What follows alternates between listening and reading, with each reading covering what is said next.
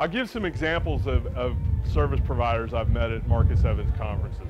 Motus, they're a technology service provider. They do all kinds of things, but for us, they helped us to eliminate about $25 million in cost, specifically related to our auto allowance program, our fleet program. So that was extremely beneficial for us.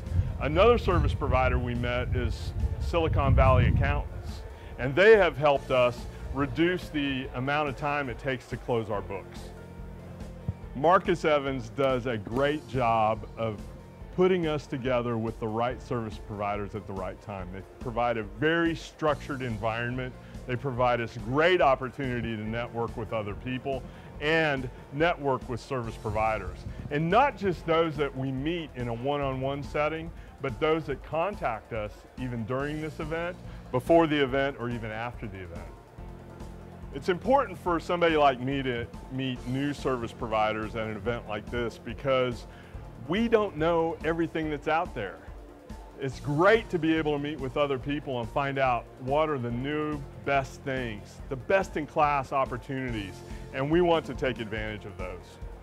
Some of the advice I'd give to the service providers who meet with me, they need to be humble.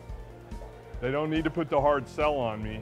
They need to be able to talk concisely about what their service offering is or their product is and how it's going to help me save money, make me more efficient, or help me be a better company.